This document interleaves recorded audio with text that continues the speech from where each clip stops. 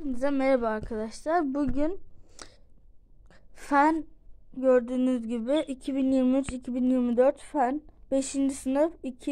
dönem 1. yazılı bir tane soru buldum. Ve bu soruyu çözeceğiz size birlikte.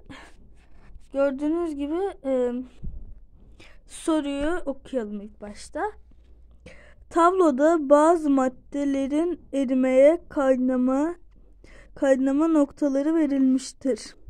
Gördüğünüz gibi maddeler K, L, M maddeleri ve de bunlar erime noktası da kaynama noktası.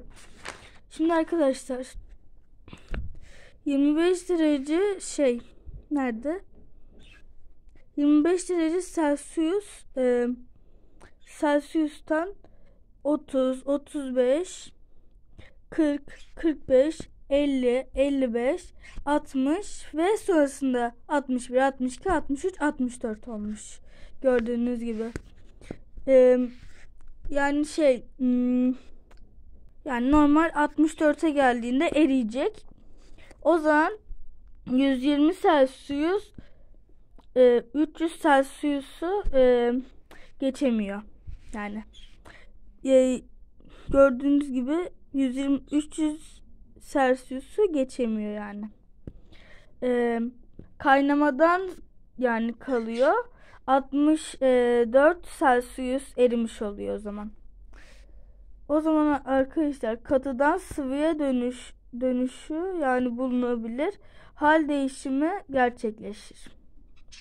K maddesinde erime olayı gerçekleş gerçekleşti. Ve yani K maddesi de erime gerçekleştiğine göre diğer soruya geçelim. İlk önce tabi buraya yazalım.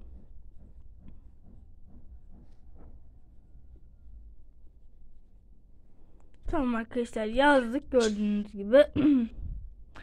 Sonrasında arkadaşlar L maddesine geçeceğiz. 25 derece Celsius'ta e, madde madde hangi haldedir? Yani sıvı haldedir arkadaşlar. E, e, 25 derece Celsius yüze geldiğinde kaynayacak yani. Yani 100 derece Celsius'u geçtik. Madde sıv, e, sıvıydı. 100 derecede kaynadı. Ve gaza geçmiş oldu. Sınavdan e, yani sıvıdan gaza geçiyoruz. O zaman buraya yazalım.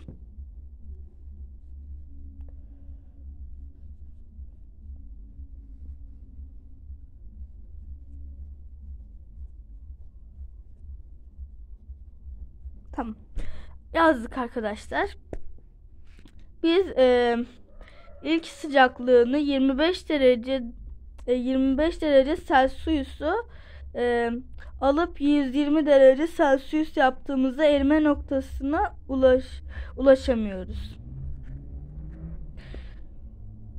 Ya, e, yani madde katı halde e, kalır. Değişim olmaz. K ve L deriz arkadaşlar. Tam puanını öyle yapıp alabiliriz.